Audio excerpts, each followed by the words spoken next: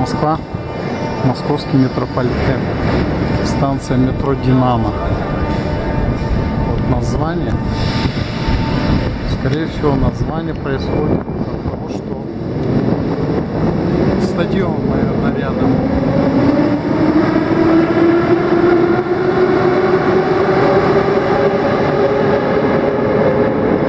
Вот.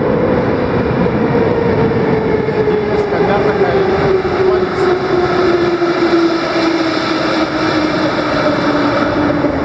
Явно потому, что здесь вот стадион теннисиста.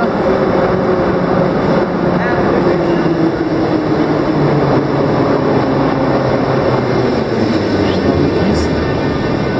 Ну, всякие такие. Девушка метательница диска.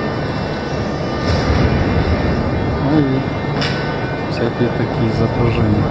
Уходит на улицу новая прошивка. Вот написано стадион Динамо, Ленинградский проспект, Петровская, Разумовская аллея, Московская аллея. Ясно. Именно по названию стадиона Динамо.